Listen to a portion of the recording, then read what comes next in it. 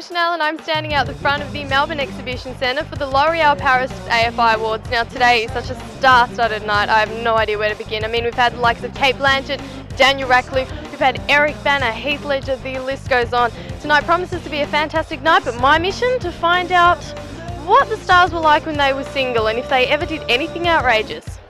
You never know, they might have done something more stupid than me. Celebrities. They never seem to put a foot wrong, or do they?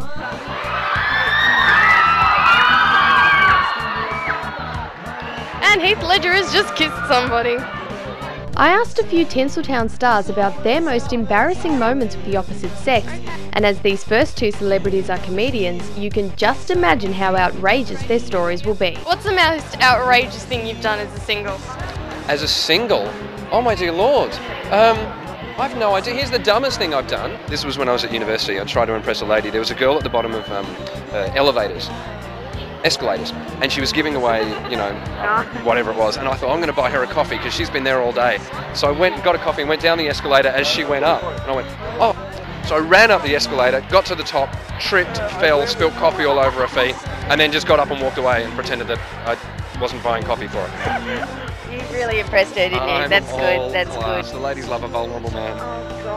About you? Have you just done something completely embarrassing? Yeah, absolutely. Well, no one knew about it. It was just for me. But I went to a, a concert and it was quite intimate. This band was playing, and I thought, oh, hang on, that that guy's looking at me. He's, you know. I think you know, this I might, I might be, you know, he's sort of singing away, looking at me. I'm thinking I'm pretty special, and then he goes, in the next song, he announces and he goes, "This song's called I've Got a Lazy Eye," and I'm just gone.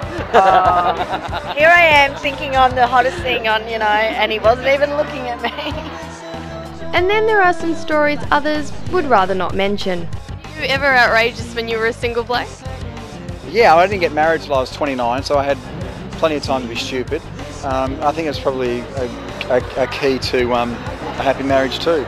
Yeah, Want to share one of those stupid stories with us? absolutely not. absolutely not. There are plenty of people who can vouch for that, not myself. And what about young Daniel Radcliffe? Has this wizard's magic ever backfired? What's the most embarrassing thing you've said or done in front of a girl you were trying to impress?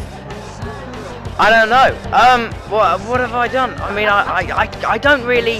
Um, I don't know. I don't know to be honest. It's a really boring answer. I'm so smart. Exactly. This is my problem. That I'm I'm just too smart. No, I, that's certainly not the issue. I don't know. I probably have said really stupid things, or or just gone really really quiet and awkward. But I can't remember something specifically that I have said or done. Well, Phil, Speak to me in a couple of years, and I'm sure I've done something by then. Well, we'll just hold you to that one.